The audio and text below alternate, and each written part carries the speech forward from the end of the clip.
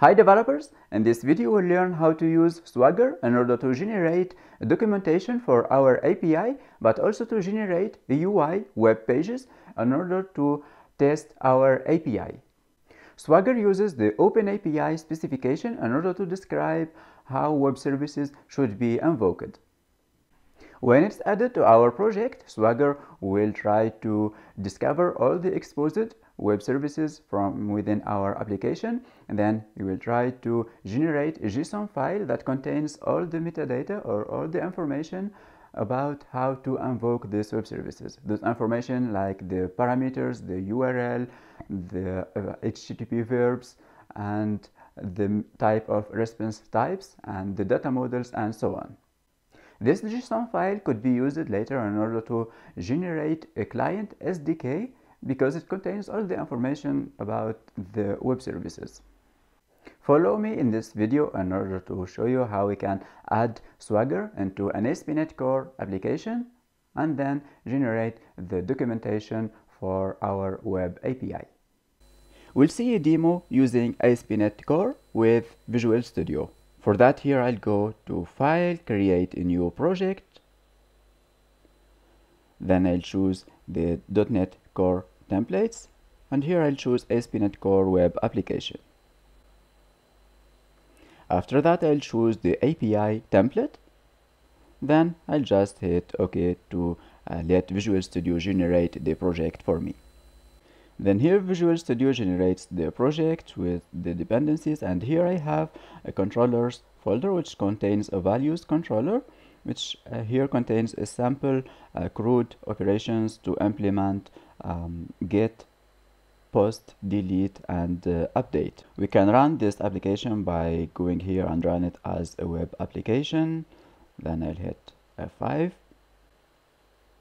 the application starts and launches at API slash values, which here will uh, return this array of values containing value 1 and value 2. Those are the same exact values that we saw right here returned by this uh, web service.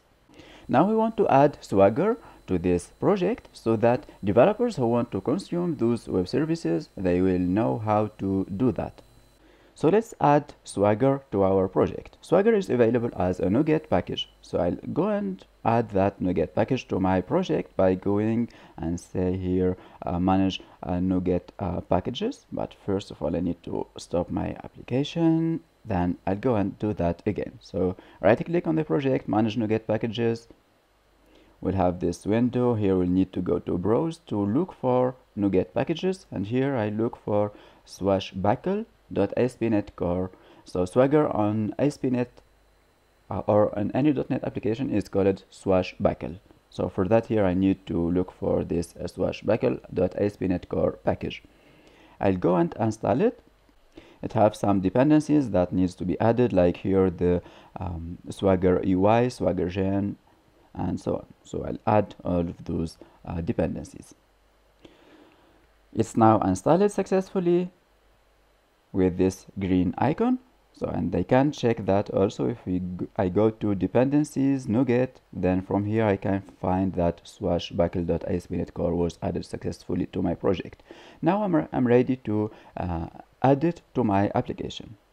To do that I need to add it through the startup class. The startup class is the class that contains the configuration for my application so I configure startup in order to tell it to use uh, Swagger.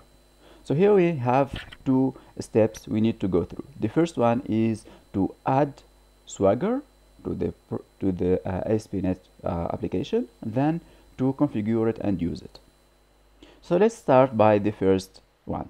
So to add it, I'll go and uh, to the configure services, and here I go to services dot add swagger. You can see that here the autocomplete will uh, have will display here add uh, swagger add swagger gen. So this is the uh, code I need to add. We can add also some uh, configuration to this. So for that I'll go and uh, paste this code. Where here we are telling swagger that um, information about the uh, version number and the name of the API. Here I'm calling it my API. Let's go and resolve this namespace right here using swashbuckle. So this is the first step in order to enable Swagger in our application. After that, we need to move to the configure method. And from here, I'll use this code snippet to tell uh, the application to use Swagger. So this will enable the middleware. After that, we need to uh, specify the path from where to find the swagger.json. The swagger.json is the file that will contain all the information collected by Swagger. So Swagger will go and scan uh, my uh, application and look for all the exposed endpoints. Then it will put the information about those REST API inside this swagger.json so that this file could be used later in order to generate client applications. Now we can go and run the application again and here we'll see the generated Swagger UI. The application launches by default on API slash values but if I go to slash Swagger then from here I can see the generated UI that was generated by Swagger. Here it contains the information about the exposed web services. So you see that here it's the values controller which have those five uh, API that are exposed publicly. So we have the get API where here I have uh, information about the parameters here tells me there is no parameter about the response so here we can change if we want text uh, json or whatever so here I'll go and tell it i want uh, the response to be of json format and then here i get the responses the response types that are uh, expected or this web service returns. So here it returns, for example, the uh, code 200 for success. We have the same thing for the other web services. In addition to exposing information about those web services, we can also go and try it out. For that, we have this button, try it out. So let's click on it and here it will uh, display a button for execute. So if I run execute, it will run a re request to my API that is now running. So it will uh, send a request to this URL where I have my get API. Then it gets here the response type which returns value 1 and value 2 and remember value 1 and value 2 are the values returned by the uh, values uh, controller right here if we go and invoke the get by id right here, then we need to pass the parameter id, which should be passed through the uh, URL. And if I go back here, go to get by id, we can see that Swagger detected that that ID uh, should be passed as a parameter in the URL. And if uh, it tells me that here of course it's a required parameter otherwise it will go to a slash uh, api dot slash values let's go and try it out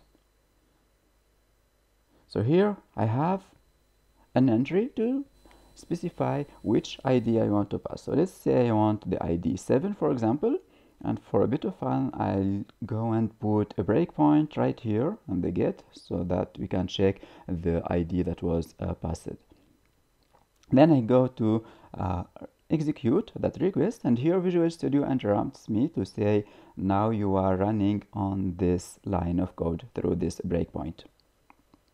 And here if I put the cursor on top of ID, I can see that the value is exactly 7. I'll continue and go back to Swagger and here we can see the response is value the string that was returned by, the, by that web service. The same thing applies for the put where we have all the parameters needed, the post also where here we need to uh, specify which um, string we want to uh, send to that web service and also to the latest one uh, delete.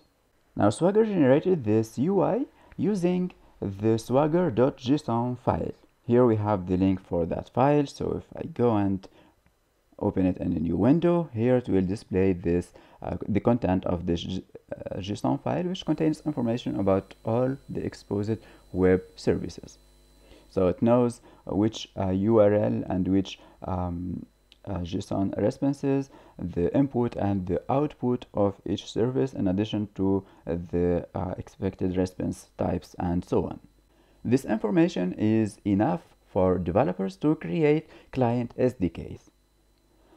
But Swagger here, it go a step further and suggests that it can create the client SDK for us. So if I, if I go to the swagger.io website, we go to tools then here we can say we can see that it have uh, a tool called swagger CodeGen this one will try to generate a client sdk using the uh, swagger.json file that was uh, exposed. So it can generate client sdks for many languages. So here you can see it, uh, it supports java net uh, node.js uh, any javascript application and many other uh, frameworks. In addition to those features, Swagger also provides a tool to add commands to those um, exposed uh, Swagger UI. So in our code, if we go back to the controller, we, we might add commands right here to describe what this web service uh, does uh, exactly. And we can automatically display those commands in the Swagger UI. So that's doable through adding some other uh, configuration to this uh, project. In addition to the code documentation, we can also add some other uh, annotations to say, for example, the uh, response type or the expected res produces response type is of type and here we can uh, specify uh, which type uh, or which response this web service will return. Those configuration will be parsed by Swagger and they will be displayed inside the Swagger UI. I hope you liked the video and thank you